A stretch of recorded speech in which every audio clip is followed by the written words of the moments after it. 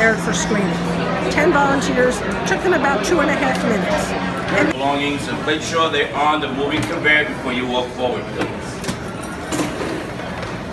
No drinks of any kind are allowed from the outside. If you have anything to drink, now is the time to discard them. And then we had the same volunteers, and this time they were a little less prepared. So instead of removing the laptop from the carry-on bag, somebody left the, the laptop in the carry-on bag. Uh, instead of uh, tossing that bottle of water, somebody left the bottle of water in their carry-on bag perfectly common things happen all the time.